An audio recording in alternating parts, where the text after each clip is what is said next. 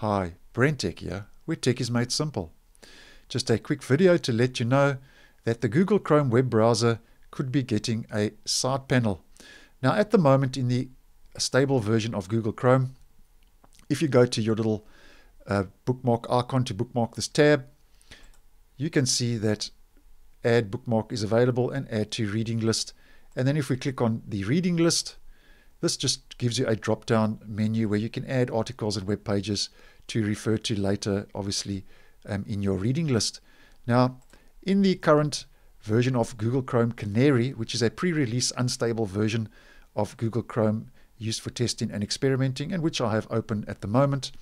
If we go up to the top right to our Chrome Labs, our little enable featured experiments, we can see now that there is a new side panel experiment that Google now is uh, rolling out. And this enables a browser level side panel for a useful and persistent way to access your reading list and bookmarks. And then just like in Chrome flags, we just go default to enabled and we re relaunch Chrome Canary to apply the flag. And now you can see at the top two things have changed.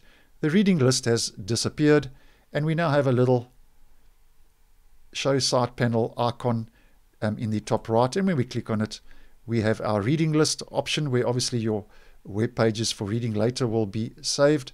And then your bookmarks option where if you have any bookmarks saved, it will all appear here. And I think this is a handy feature because, you know, it basically takes uh, two features and packs them into one. So I think that will be quite useful if it finally makes its way down to the stable version of Google Chrome. Now, if we just go to our address bar and we type in chrome colon forward slash forward slash flags. This takes us to our experiments. And this little uh, Chrome Labs is basically just a, a quick reference um, uh, to get to your experiments in the Chrome flags. Now, if we just scroll down, we can see here, here is the side panel flag. Enables a browser level side panel um, for a useful and persistent way to access your reading list and bookmarks, as we've just discussed. And we can see it has been enabled as a flag.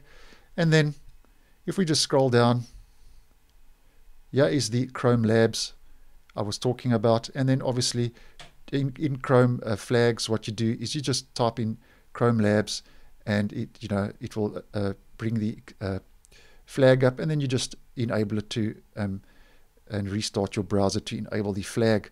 So I thought this was interesting. I saw this pop up in my Google Chrome Canary today and I quite like it because it basically just cleans up the you know your your Chrome browser and basically pops two functions into one.